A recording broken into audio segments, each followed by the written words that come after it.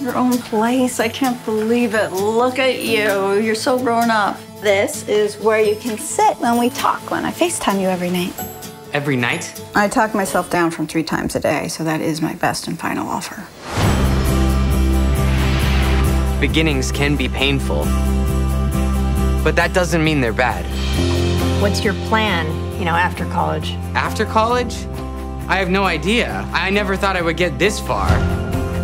It says I'm in danger of academic probation. Hey, hey, it's not a big deal. It isn't? Not at all. It's a huge deal. I had an uncle who was on academic probation once. He's in jail now.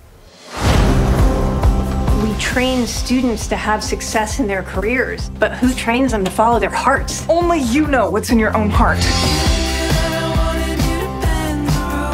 Need to avoid academic probation, and I hate living with Zahid. There's too many rules. This is impossible. I'm gonna go sit in the tub.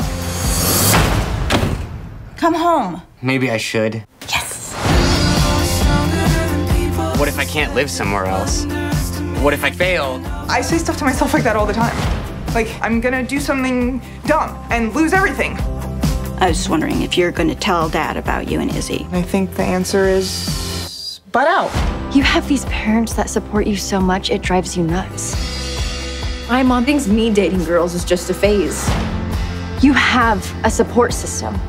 I am a support system. I'll be your support system. In the beginning of a journey, no one knows what to expect. You are ready. Might have a vague idea that the road ahead could be rough. That's what makes new beginnings so exciting. You don't know what will happen until it's over. Isaac Newton, Nikola Tesla, Mozart, all the greats swore off sex to maximize artistic output. That's why I swore off sex too. You swore off sex because the girl you like got a boyfriend on the wrestling team. There are a lot of considerations.